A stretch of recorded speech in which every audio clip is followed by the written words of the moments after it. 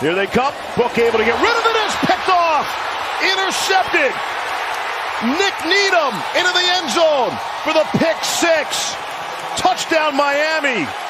Andrew Van Ginkel got a piece to deflect it, and that's how it starts for young Ian Book. Ian Book was just trying to throw the quick out. Watch Van Ginkel. His left hand just gets on the ball. You see it changes its direction and goes behind the receiver right into Needham's hands. Yeah, you see